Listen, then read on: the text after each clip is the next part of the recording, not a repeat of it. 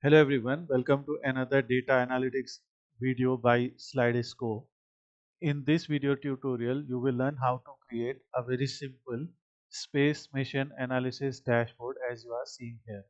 So here we have mission by company, missions by location, total number of missions, success rate of each mission, total number of companies in the data set and count of rockets.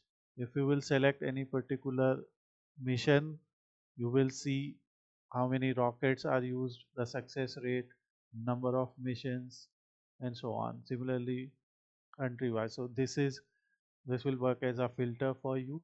You can add other filters as per your requirement as well. So let's begin and see how something like this can be created in power bi so this is the space mission file. And in this file the first thing is company name and the location and here and this is mission. So every row here represents some mission. Was mission a, a success or not? So its mission status is given. What type of rocket was used for this mission? So name of that rocket is there. So year and time of launch is given. If available the price is also given. And so these are the columns. So on the basis of this we are going to create a very simple dashboard. We will simply read the data in power bi it's a csv file. So connect the csv file. When data is read make sure the headers are appearing properly here. So in our case yes it is appearing. Obviously in case of time and price we have some missing values. So our analysis will not be using most of them. So first we are going to create a simple card here. And in the card we are going to simply put how many missions are there. And for that we have mission and we'll take it to field. And here we will count this thing so this is 4555 total missions. And here we will simply go to title. Or even if we have the visual so we'll disable the category label and enable the title and call it missions. Align it to center there is one more way uh, you can add obviously in if you enable the category label. So you can rename the category label for this visual. So hashtag missions there is number of missions you can say. And then your category label setting is something that you can do. And color everything you can choose. So we'll be choosing this color and for callout value also we are going to choose something like this. So this is total number of missions and let's remove this.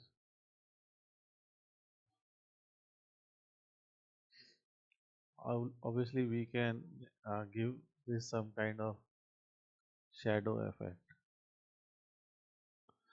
Next is uh, the mission status so from the data you can see mission status is either 1 or 0 so we'll simply paste it. And here we are going to use the mission status. This is showing us sum of mission status. We will put average here okay so average is 0.90 that is the mission success rate in the entire data set is around 90%. Now we will try to create a calculated field for this. Obviously we can do it here also like by multiplying it but uh, here go to modeling tab new measure and we will call it success rate and here we will use average of mission status okay? And format we are going to use as a percentage. So when you use as a percentage let's let's commit and success rate is created. Let's get rid of this and drag this wheel so now you have the 89.93 the exact percentage of success rate here in the setting of call out value for this if you want to keep let's say 90 percent you can value the decimal places. Otherwise you can leave it like that. Okay. this is a simple example. So this is total number of missions and this is success rate of missions. Similarly to achieve this success rate for space missions how many companies and how many rockets have been used. We are going to count that. So for this we will instead of success rate we will write company and count distinct because one company can launch different missions okay? So this is count of company and here we'll rename for this visual as simply companies okay so 62 companies have launched 4555 missions with a success rate of 90% and for every mission a rocket is used so here you can see Cosmos 3M and mission name is also like Vostok 2M Soyuz M okay. Uh, if we use the company as ISRO. So instead of select all let's select ISRO and see so here you can see we have GSLV Mk2 PSLV-G this type of rockets. So obviously uh, uh, different companies have different rockets. And here we are just going to use count of rockets. So is rocket and same thing count distinct so 370 rockets have been used. The next metric that we are going to see is company wise mission count okay? For that we will just put it here and we are going to use the clustered bar chart. In clustered bar chart we are going to use on the x-axis we are going to use the company name. And here we will just press mission and count of distinct mission. Okay. So this is company wise mission.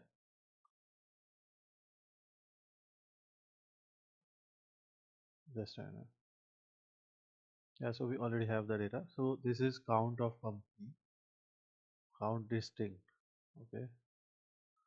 So demo flight test flight aura. And here we have we have to swap this to get the proper data. So now it is correct. So this is company on y-axis and you can see RVSN USSR has 1777 missions. Now we are going to style this. Obviously on y-axis we have some values. We can resize them. And let's make it bold in color, bold in font style. And on x-axis we have minimum and maximum range and value okay so we also have color for x-axis we will make it bold. And title is also something we will make bold. Title text we can write. Count of missions is okay. And when you will go to bar setting you have a blue color. So we can use a different type of color. For example this color okay or maybe this. But whatever color you use let's say we will use uh, or let's use this color. Whatever color you are going to use the main thing is here you can use the function also. So format style will call it gradient. On the basis of count of mission summarization will be count. Let's say the lowest value will have a gray color and highest value will have this yellow color. Just giving an example. So this way you will see a data like this. Okay this is count of mission by company. Okay. So here you can see the legend is on. That is it is representing data from 0k to 1.7k we can turn it off okay? And what we can do we can enable the data labels so that we can see the value here. In data labels you have series overflow text. This type of settings are there. Position is inside. You can write it inside also outside and it was already the inside center. Whatever suits you you can select okay? So let's select inside outside end so that we are seeing for other companies also. And here we are just going to go to general tab title and we'll simply call it. For our visual we are going to use some image like this uh, which we have created from chat GPT or we can use some image like this in the middle uh, representing any astronaut. You can go to insert and select image. So we have the image. So either we can use this image or some other image for example something like this. Now in our graph we will just go to general tab effects and enable a shadow for it. So this is mission by company. And we also have another categorical data and that data is mission by country. So here we will just replace country with a company with country. Since we don't have the country value directly so either we can use uh, you know power query to get country data from it or what we can do we can bring y-axis and location axis mission. We can simply turn it into a map chart. In map chart location will be your location and here you have the values like location and count of missions. Okay. So here in the bubble size we have count of missions. And here we can simply resize this so that we have the entire view of the map. With the help of canva we just created a simple looking heading for our visual since that heading is a image we will just go to insert tab and insert the image. Let's fit the image. Because this image is important so we can go to format and bring forward. And similar to our images color let's try to adjust this a little bit the font color code used in the font is 5c290a and similarly we can choose bubble color here also. So here also we'll create a gradient. And the highest color will be the code that we just copied. So this way we have a simple data we can also choose different type of map like grayscale road or aerial whatever you prefer so I will select a light mode here So this is a very simple space mission analysis dashboard, obviously created for beginners. Here all these company names are interactive. So if you want to see any particular data, you can select accordingly. And in the second part of this series, we will try to fix the locations also. This is a very simple dashboard that you can also try and create as per your uh, creativity. You can also bring other filters here by using the slicers. You can bring filters like you know rocket status, price wise, mission wise. You can put slices as filters in this particular project. And one more thing that you have to make sure is if you are using an image as a heading. So in that case, uh, in your format option, select the graphs and bring them forward okay.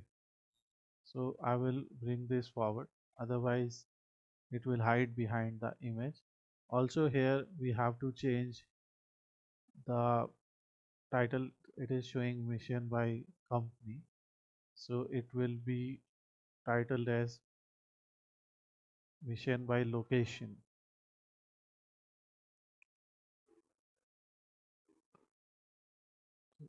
So this will be our title